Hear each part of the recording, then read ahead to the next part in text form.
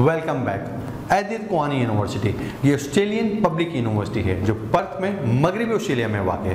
ये वाहिद Australian university है, जिसका नाम एक खातून एदित कुआन पर रखा गया है। ये ऑस्ट्रेलियन पार्लियामेंट में मुंतखब हुई थी। The university offers more than 300 programmes online and on campus also. Business, nursing and performing arts are the some of the program which that can be considered for affordable tuition fees.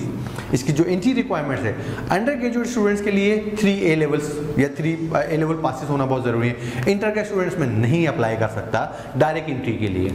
Post graduate के students के लिए a successful bachelors degree with minimum average of 60 percent approximately होना बहुत ज़रूरी है। Then they are eligible to apply IELTS की जो language requirement है आइल्स इनके पास 6.5 with no band less than 6 होना बहुत ज़रूरी है।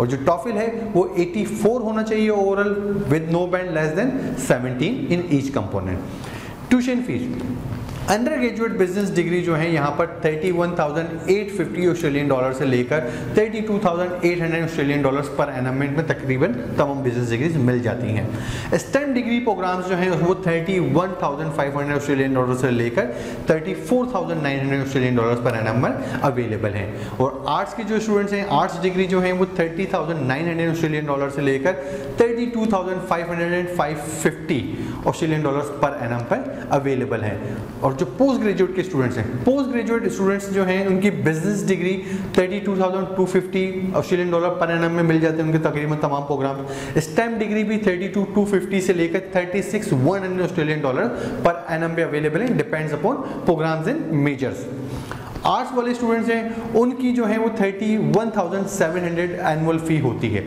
और मास्टर ऑफ़ परफॉर्मिंग आर्ट्स उसकी फ़ीस जो है वो 32,850 ऑस्ट्रेलियन डॉलर्स है।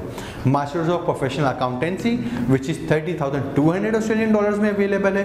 Masters of engineering and masters of project management ये भी 32,250 ऑस्ट्रेलियन डॉलर्स पर एनम में अवेलेबल है।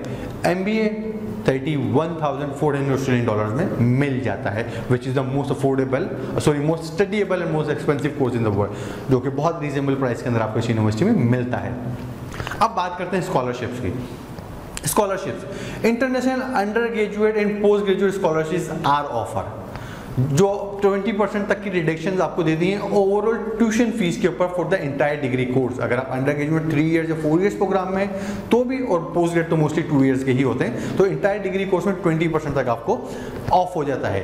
और उसके लिए आपको अपने कि just meet the entry requirement to avail this scholarship like आप, आपने एंट्री रिक्वायरमेंट मीट कर ली you will get this twenty percent scholarship straight away लेकिन ये स्कॉलरशिप बांग्लादेश एंड नेपाल के स्टूडेंट्स ही अवेल कर सकते हैं। इंडिया और पाकिस्तान के students can not apply for this scholarship अगर इंडियन एंड पाकिस्तानी स्टूडेंट्स चाहते हैं कि कोई स्कॉलरशिप उनको मिले तो they can apply vice chancellor scholarship which will exam 5000 Australian dollars और it based on your academic grades के आपके एकेडमिक ग्रेड्स क्या हैं, उसकी बेसिस के ऊपर आपको वाइस चांसलर स्कॉलरशिप मिल जाती है।